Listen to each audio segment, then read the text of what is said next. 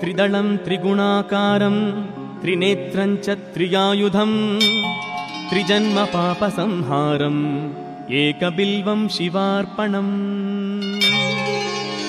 त्रिशाकैः बिल्वपत्रैश्च अच्छिद्रैः कोमलैः शुभैः तव पूजां करिष्यामि एकबिल्वं शिवार्पणम्। कोटिकन्या महादानं तिलपर्वतकोटयः काञ्चनं तिलदानेन एकबिल्वं शिवार्पणम्। काशीक्षेत्रनिवासञ्च कालभैरवदर्शनम् प्रयागे माधवं दृष्ट्वा एकबिल्वं शिवार्पणम्।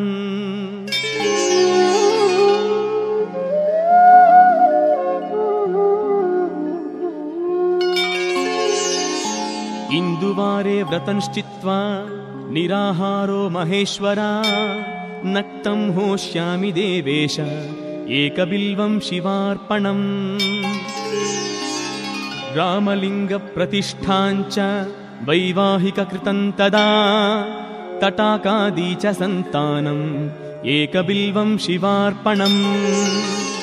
अखण्डबिल्वपत्रञ्च अयुतं शिवपूजनम् कृतं नाम सहस्रेण एकबिल्वं शिवार्पणम् उमया सह देवेश नन्दिवाहनमेव च भस्मलेपन सर्वाङ्ग एकबिल्वं शिवार्पणम्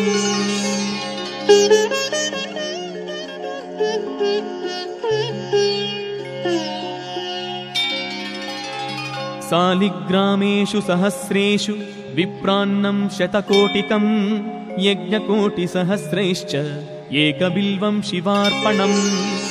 दन्त्यश्च कोटिदानानि अश्वमेधशतानि च कोटिकन्या महादानम् एकबिल्वं शिवार्पणम्। बिल्वानां दर्शनं पुण्यं स्पर्शनं पापनाशनम् अघोरपापसंहारम् एकबिल्वं शिवार्पणम्। सहस्रवेदपाठेषु ब्रह्मस्थानशतेन च अनेकव्रतकोटीना एकबिल्वं शिवार्पणम्।